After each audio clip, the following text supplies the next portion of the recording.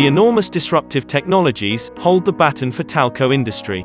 As this change affects our social, political and business world, companies need to build strong ecosystem partnership that will reinvent the customer experience. Red Hat and Tech Mahindra Alliance entirely focuses on the same. 5G being the next of everything is driving network transformation and enabling better speed, low latency, and hyper-connected world.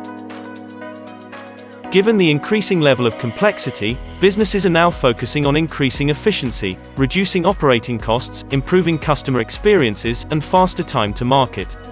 Our NetOps.ai, powered by Red Hat OpenShift Container Platform, is a next-generation continuous automation and orchestration platform.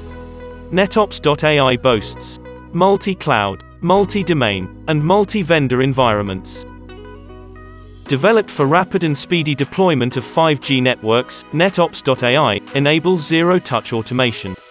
Utilizing Red Hat OpenStack as virtualized infrastructure, NetOps.ai is assures benefits of 20 to 40% savings in CapEx and OpEx, 50 to 70% reduction in planning time, 60 to 80% faster rollout of software updates.